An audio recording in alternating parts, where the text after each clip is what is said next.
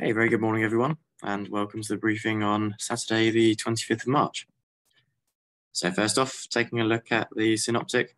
Uh, if we go back to the overnight chart, we can see it's uh, pretty colourful with this uh, pretty obvious no, uh, low pressure system to the north uh, with really quite tight uh, isobars. As we go ahead to midday today, there's slightly spacing out and there's sort of low pressure system slightly dissipating and moving away from us and no sort of obvious frontal activity over the top. Um, we'll probably be starting off with westerly winds, but as this all moves to the east and these isobars curve around to the south, uh, we'll probably see the wind back a little bit, sort of to the west, southwest, maybe the southwest. Looking ahead to tomorrow, uh, it depends on the exact positioning of this front here. Um, if we're lucky enough for that to be out of the way, it should be flyable. Um, isobars becoming a little bit further apart and drawing in this northerly air, uh, probably going to be northeasterly tomorrow. and looking ahead to Monday, uh, we're in an area of high pressure and it's currently looking like quite a nice day. Uh, winds today, uh, pretty much 270 at about 25 to 35 knots, probably about 35 knots at flying height here. And the current sat pic is showing sort of varying amounts of cloud, um, the odd shower around, uh, but otherwise nothing too significant around us.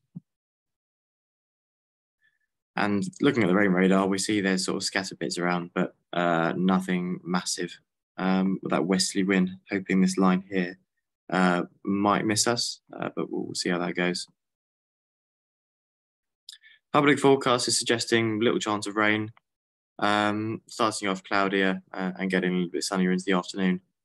Um, pretty good visibility, low humidity, so cloud base should be fine. But the main issue we've got today is the wind. Uh, currently uh, suggesting 19, gusting 28, and increasing to about 30 and just over 30 through midday. Looks like from about one or two o'clock, it's definitely going to reduce quite a lot. So if it's not flyable this morning, it definitely will be from about two o'clock uh, as that wind reduces. So we should get sort of three or four hours in the afternoon at the very least. Looking at the uh, temperatures today, looking at 11 or 12 degrees, and a dew point of about seven, so a reasonable split there. and that's the current view outside. See some clouds developing already. Um, that's probably be the case most of the day. Cloud base doesn't look desperately high here, but um, I, I, think it's good enough for one or 2,000 feet above Lasham.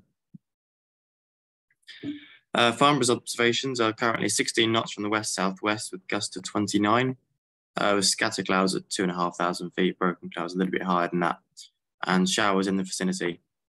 Uh, forecast is 20 knots from the west with gusts up to 30 knots of uh, scattered clouds at a height of 2,500 feet.